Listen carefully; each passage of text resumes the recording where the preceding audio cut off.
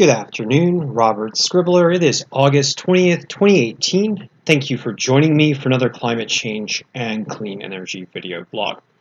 Now for this segment, I am going to take another dive. This is uh, part three into a recent scientific paper talking about tipping points that could lead to a hothouse state and how rapidly we are approaching those tipping points, primarily through fossil fuel burning. And in this segment, we're going to focus on responses to human-caused climate change as identified by the paper.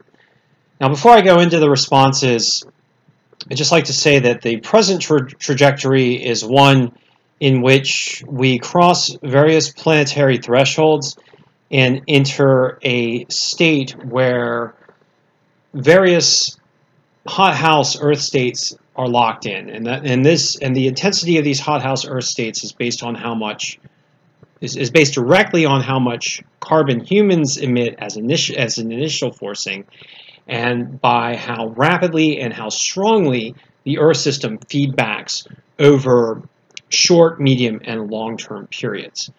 Now, the avoidance of such hothouse states has been identified by this paper as an Earth stewardship pathway.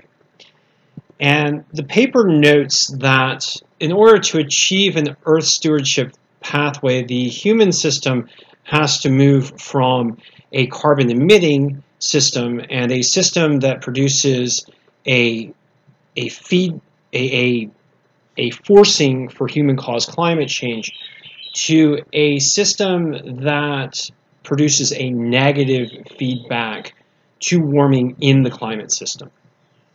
And the steps, the, the, the, potential steps that this paper identifies are one, reducing greenhouse gas emissions. And, I, and in order to do that, you need to reduce greenhouse gas emissions, in all honesty, to net zero or net negative. Otherwise, you're contributing over, over long time scales, so long as, as the human system is, is a, a positive or, or a net positive greenhouse gas emitter. The second is enhancing or creating carbon sinks in such a way that, that draws carbon down from the Earth's atmosphere and from the Earth's ocean system such that that you end up with with a situation where where humans are are pushing into net carbon negative. So so you cut carbon emissions to zero and then then ideally you want to push into net negative. Now the negative impacts from these choices are generally very low, and the positive impacts from these choices are generally very high. For example, if you transition to renewable energy and, and, a, and a clean energy system in which energy use produces zero carbon emissions, you're producing a much better society overall because you're not dealing with pollution impacts to human health, pollution impacts to water. You're not dealing with uh, as much in the way of wealth concentration issues that result in unequal societies. You're not dealing as much with with energy systems that produce a resource curse type situation. So the net positive impact of transitioning to renewable energy is is vast. And so not just for dealing with climate change, but dealing with climate change is, is a major reason to support clean energy. Now, a, another aspect of reducing human ca carbon emissions and transitioning to net zero or net negative carbon emissions is land management. And this is this can be broken down into changing the way we produce food through sustainable agriculture and changing the way in which we manage forests such that we work to preserve forests and preserve forests that are healthy and forest environments that that are enhanced carbon sinks.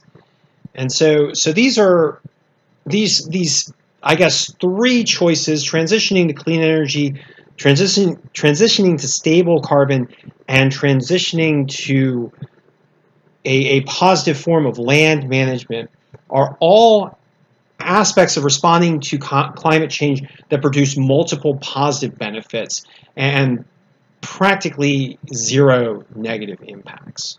Now, going beyond that, there are options for for responding to climate change that, that are a bit more risky.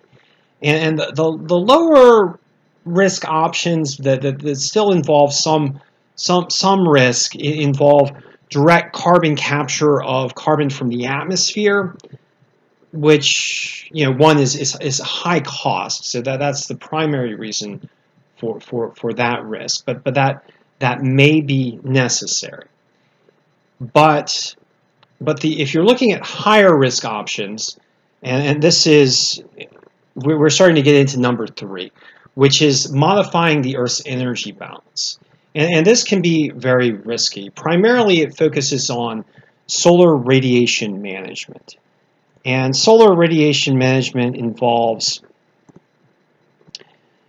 pumping a, a, a large amount of reflective particles into the upper atmosphere of the Earth, thereby reflecting some sunlight back, which results in less sunlight getting into the lower atmosphere and interacting with the higher levels of, of carbon dioxide, and thereby keeping the Earth a bit cooler.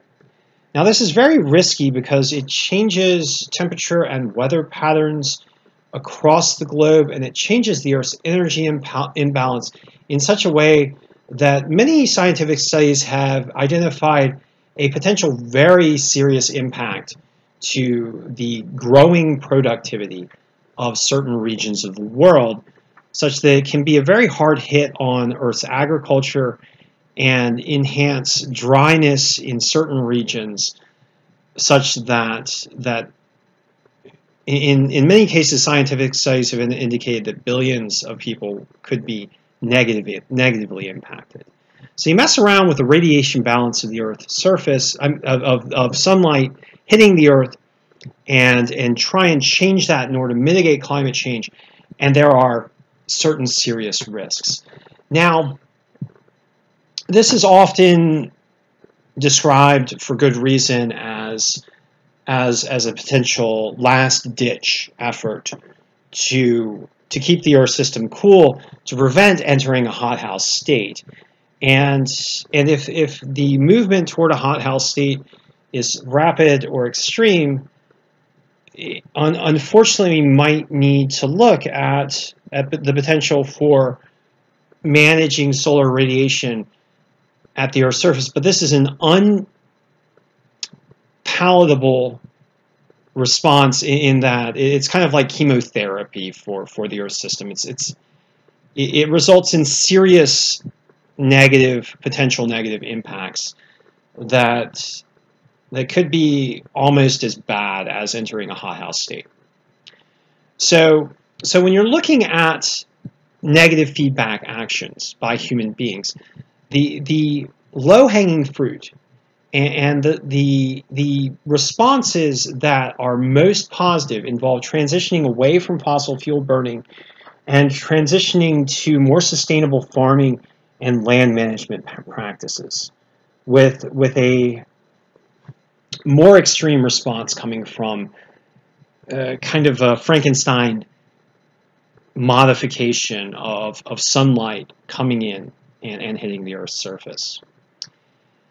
So, so just a, a broad analysis of, of the, the recent implications as indicated by the scientific paper entitled Trajectories of the Earth System in the Anthropocene. I encourage you to read this paper, but as you do, I, I, I want you, please, to think about the urgency of our present situation and the urgency of supporting rapid carbon emissions reductions and changes to land management practices now so, so we don't get so far down the feedback process toward a hothouse state that, that we, we start making less wise decisions. So thank you for joining me, and I'll be chatting with you soon.